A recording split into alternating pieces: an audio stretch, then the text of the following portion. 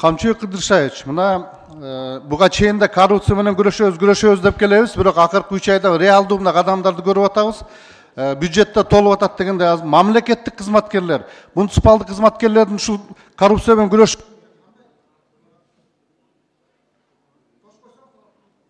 он секунд кандай жумуш аткарылып атат? Бир айтып бериңизчи мына. Урматтуу алазимович бул маселе боюнча коррупция боюнча мен бир аз учкай айтып өттүм дагы айтып коеюн ушул убакка чейинки мамлекеттик кызматта иштеп туруп мамлекеттик бюджетке же болбосо мамлекеттик мүлктөргө талап тоноочулук кылган мамлекеттик кызматкерлердин баарын бирден текшерип чыгабыз так. Алардын келтирген зыяндарын кайра бюджетке кайтарабыз ал эми мындан ары мындан ары эгерде ошондой кызматкерлер мына азыр жаңы өкмөт шайланып атат өкмөттүн мүчөлөрүнөн баштап анан ылдыйкыга чейинки баардык мамлекеттик кызматкерлер кайсыл бир деңгээлде катыша турган болсо аларды биз сөзсүз түрдө жоопко тартабыз мыйзам чегинде так бул биринчиден экинчиден э, мына кандай жумуштар жүрүп атат деп атпайсызбы жумуштар жүргөнү боюнча мен бир мисал келтирип коеюн эки миң жыйырманчы жылы он айда э, улуттук коопсуздук кызматынын антикоррупциялык службасы коррупцияга каршы службасы он айда жүз он алты миллион сомдун тегерегинде м, бюджетке кайтарган акчаларды чыгым келтирген акчаларды ал эми э, эки айда эки айда ноябрь декабрда биз э, почти үч миллиард кайтардык эки миллиард сегиз жүздөн ашкараак кайтардык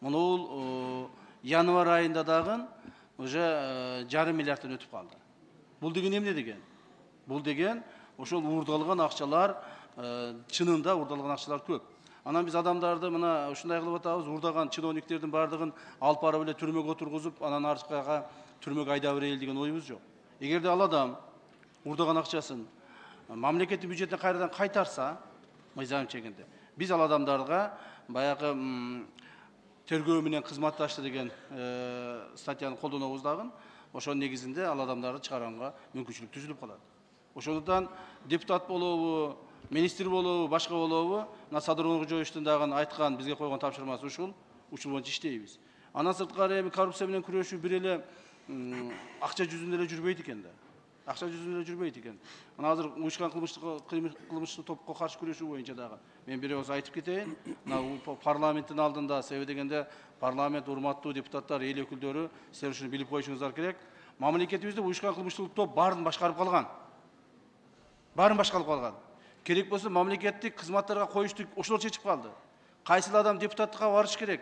Кайсыл адам депутат болуш керек ошолор чечип калды кайсыл бизнес өнүгүш керек ким бизнес кылыш керек ошолор чечип калды мындан ары андай болбойт. Положенец смотрящий вор в законе деген биздин коомубузда болбойт мындан ары. Ким вор закон болгусу келсе баары башка өлкөгө жашасын. Биздин мамлекетибизде вор закон жашабайт биздин мамлекетибизде смотрящий положенец деген болбойт мындан ары. Биз ушуну өзүбүздү өзүбүз ушуга багытты коюп өзгөртүшүбүз керек. Коркпостон ушуну жасашыбыз керек. Анан жасабай турган болсок анан айтып коюп эле бул жерден өкмөттү жаңыладык анан кайра койдук кайра кеттик болуп жүрсөк жүрө беребиз ошондуктан мына мен айтаар элем бизнес тарабында дагы өтө көп коррупция бар. Коррупция мамлекеттик кызматкерлердин арасында эле эмес бизнес тарабында да көп. Кечээ эле мына бир мисал айтайын. Бир э, бизнесмен жети контейнер алып келиптир кытайдан э, железный дорога аркылуу. Болгону жүзгө жетпеген телевизор деп алып келген жети контейнерин ичин ачып карасак жети миң телевизор чыгып атат жети миң. Мына мамлекетке кете турган бюджеттин акчасы ошонун негизинде эле мына бүгүн отуз миллион акчаны төлөп атат мындай нерселер көп.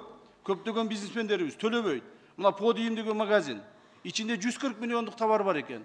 Айына төрт миллион төрт миң сом гана налог төлөйт экен.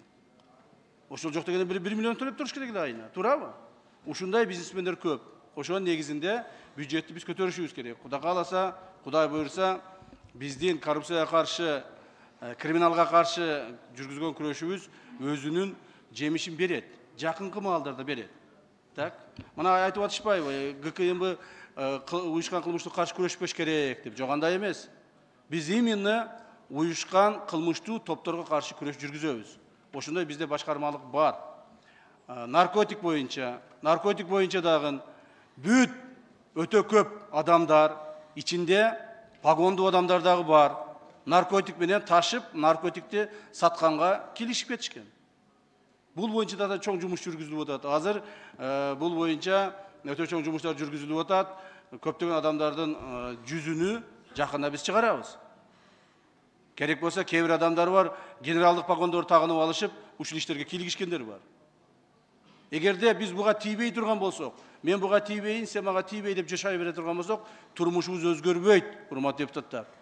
Коомду өзгөртүш үчүн чечкитүү кадамдарга барайлы мына э, мен ойлоймун биздин урматтуу бүгүнкү шайланып аткан министрлерибиз дагы ушунун баарын угуп атса керек. Кимде ким коррупцияга аралашабы министр болобу зам министр болобу башка болобу баарын привлекать эткенге биздин толук укугубуз бар жана мыйзам буга жол берет рахмат кечиресиз